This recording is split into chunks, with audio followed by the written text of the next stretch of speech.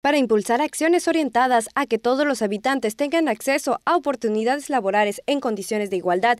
La presidenta del Sistema para el Desarrollo Integral de la Familia, DIF estatal, Sarita Blancarte de Zapata, encabezó la entrega del Premio Estatal en Derechos Humanos al Empleador Incluyente 2015 al equipo del Centro Educativo Moisés Sáenz. Durante la ceremonia efectuada en las instalaciones del plantel Blancarte de Zapata, junto al presidente de la Comisión de Derechos Humanos del Estado de Yucatán, Jorge Alfonso Victoria Maldonado, otorgó un reconocimiento a la directora del SEMS, Patricia Reyes Peón, así como a la asistente educativa, Flor Jimena Lendeche y Maza, por el trabajo que realizan para la construcción de una sociedad que privilegie las garantías de las personas con discapacidad. En el marco del evento, el ombudsman e integrante del Consejo Consultivo de la instancia le concedió un galardón a la titular del patronato DIF por la destacada labor que realiza a favor de los derechos humanos de quienes se encuentran en situación de vulnerabilidad tanto en la capital como en el interior del Estado. El director general del organismo asistencial, José Limberso Salara, señaló que ya se han logrado significativos avances en la materia. Sin embargo, es importante que más instituciones del sector privado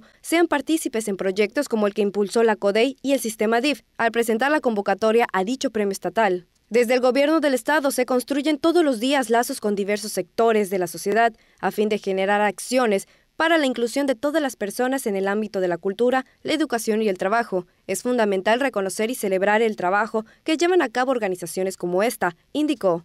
Victoria Maldonado agradeció el compromiso y la determinación de quienes conforman el DIF Yucatán, que a través de sus programas promueve la no discriminación y sensibiliza a los prestadores de servicios sobre el potencial, las capacidades y habilidades de las personas con discapacidad.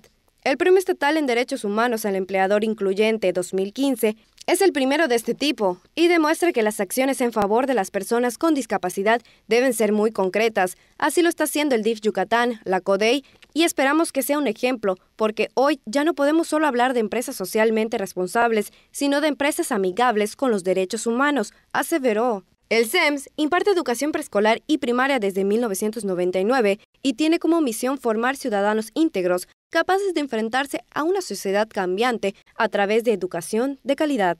Noticias día a día.